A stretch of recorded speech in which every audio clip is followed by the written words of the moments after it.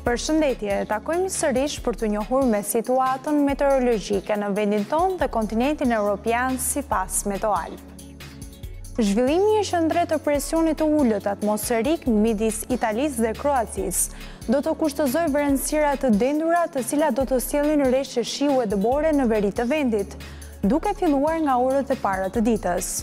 Duke iu afruar mesditës, vranësirat përfshijnë pjesën më të madhe të territorit, duke gjeneruar shira në zonat perëndimore dhe zonën e ulët, Por me reshje të pakta dëbore paraqitet verilindja. Këto kushte atmosferike mbeten thuajse gjatë gjithë natës edhe pse herë pas here do të ketë pauzë të reshjeve.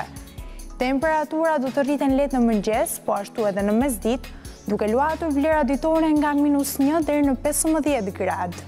Era do të fryjë fort me shpejtësi shtatëdhjetë kilometër në orë dhe kryesisht nga drejtimi jugor, Dhe për pasojë në brigje do të gjenerohet dallgëzim deri në gjashtë ballë. Por si do të jenë kushtet e motit për ditën e nesërme?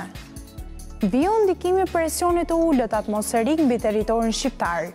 Për pasojë, orët e para të ditës do të paraqiten me vranësira të dendura, të cilat do të gjenerojnë reshje shiu në pjesën më të madhe të vendit, por dëborë do të ketë në zonat malore. Këto kushte mbeten deri vonë në mbrëmje kur moti fillon të përmirësohet përkohësisht duke sjellë pauzë të reshjeve. Temperaturat do rriten ndjeshëm në vlerat minimale dhe maksimale, duke luhatur vlera ditore nga një deri në tetëmbëdhjetë gradë.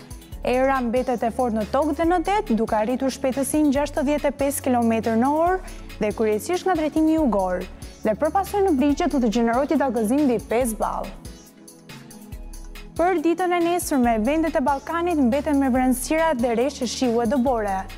Po ashtu, pjesa më e madhe e kontinentit paraqitet me reshje shiu e dëbore, ku konkretisht me reshje të dendura dëbore vijon Europa veriore dhe ajo lindore.